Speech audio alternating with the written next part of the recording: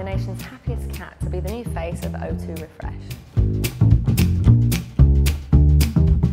Let's send the first one in. Who's this? This is Sydney. Hello, Sydney. And I like your song, Happy Cat. yeah. Oh, Aslan is in The Lion, the Witch and Wardrobe. Oh my God, that's so cute. We were sort of rescued him, so he's definitely happy now. He's got a new home.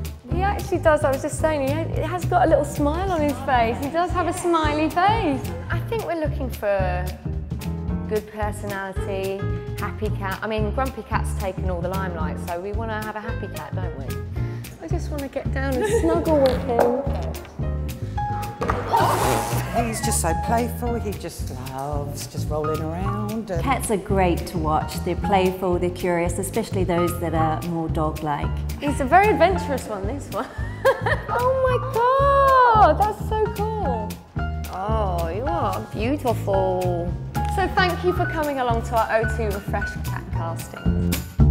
Mmm, decisions, decisions. My favourite, personally, but no. I think they were all, they, they all brought something to the table. I think we may have our winner.